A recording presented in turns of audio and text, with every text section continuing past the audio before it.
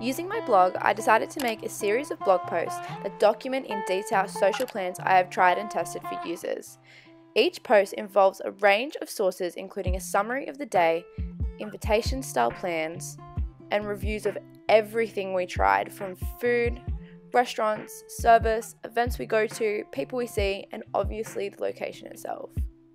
This concept targets indecisiveness and anxiety surrounding organising social plans. As youth, Wollongong becomes limited with things to do very quickly, and I hoped organising tried and tested plans in one spot would address this issue. I decided to use WordPress blog posts whilst linking it to my YouTube channel to simulate the greatest sample of dates possible online, complete with audio, visuals, and written reviews. Okay, so here is the operational prototype that is open on the internet. So basically, I've just organized it under Clique Bait as a subheading so it separates it from uni. And then here are all my organized blog posts. So first, we've got Wedding Cake Rock, Groovin the Moo, and then below that, we've got um, Humber Rooftop. So if we click on Groovin, we've just started with a summary, which I've done as like a blurb so people can know if they want to keep reading or maybe want to embark on these plans. So after that, I've done like an invitation style plan that kind of invites the reader to do these things and really just puts everything into dot point form. So time, place, weather, and of course, price range.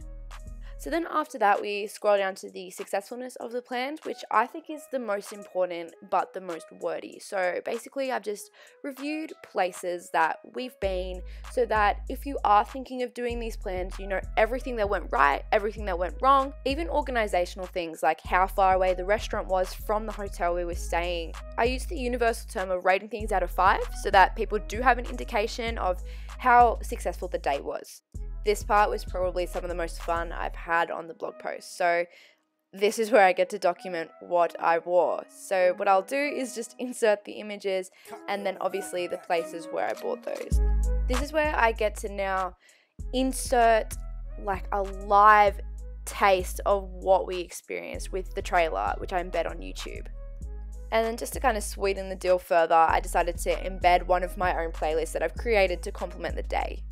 So, my very first post was Humber Rooftop, and it was posted on YouTube and advertised via Instagram. The link to my blog was in my bio, and the story got 644 views, 100 website clicks, and 333 views with heaps of international attention on WordPress. The video only really got 125 views, which wasn't really comparable. So my post following that was Groovin the Moo, and this was also advertised via Instagram, getting 548 views and 74 website clicks.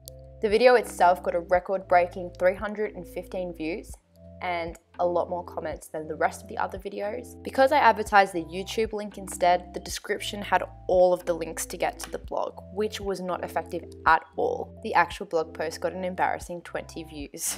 Advertising on Instagram, however, is really effective because it is responsible for the majority of our views. YouTube, not so much. So it's clear that the views don't match up between the blog post and the respective video, and people are just watching the videos, and that's obviously because it's more interesting, but the videos don't make sense by themselves, so I need to find a way for them both to link up and get the same sort of views. And I think by doing that, I need to make the plans more alternative, not just lunch. It needs to be something that people haven't tried before, so they're more inclined to click on it.